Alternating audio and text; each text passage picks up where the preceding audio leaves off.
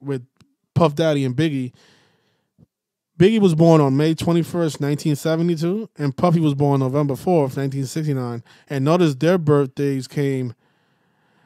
Biggie was um Biggie's Biggie was born 929 days after Puff Daddy, and 929 is the 158th prime number, and Freemasonry is 158, which just goes to show you that you know I don't know how they do it. Really, I don't I don't know how they do it, but these rappers were chosen from birth. That's what it looks like. And I don't know how I don't know I don't know I don't know I don't know how they do it because this stuff is so perfect every time. It's really magical how how it all works out. Really, it's magical. But you guys notice how Freemasonry is 139 and 158. Notice Tupac Shakur.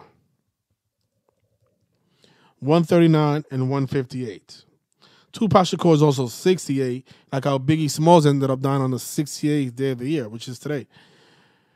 And notice this, right? The name Christopher, which is Biggie Smalls' first name, it's also 139 and 158. Now, the the album Ready to Die came out on 13 slash 9. Tupac ended up dying on, on the two year anniversary of that album being released. Now, Christopher is also 158, and again, him and Puff Daddy were born 929 days apart from each other, and that's the 158th prime number. It's just unbelievable how the, the they are able to do all this. Because how, how did they know Biggie Smalls was gonna have this this talent? I mean, a lot of this stuff is still mind blowing to me, even though I'm I've been doing this for a while now. It's just unbelievable how they they're able to just plan all this stuff way in advance.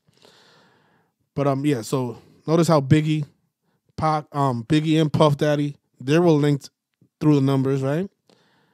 Biggie even born on the 309th day of the year, and then, I mean, Tupac was, well, no, not Tupac. P. Diddy, born on the 309th day of the year, and then Biggie ends up dying on 309. Crazy, man, just crazy stuff. But yeah, so 177, their deaths Biggie Pac, Biggie and Pac's 177 days apart. Now look, this image came out the day that um Biggie was killed, right? So supposedly he took this he took this photograph before he was he, he, before he died. Notice Word Up magazine posted the date March 9th, 1997. So what are the odds that they take this photograph and then just hours later he dies, right? Strange. But it, something that I've noticed is how, like, a lot of times the, the things that these celebrities are wearing are coded as well.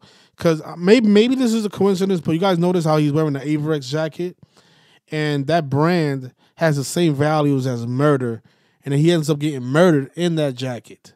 Maybe that's coincidental, but I don't think so because the name of that company is Avirex USA, and notice the 39 gematria and then he dies in a he gets murdered on three nine.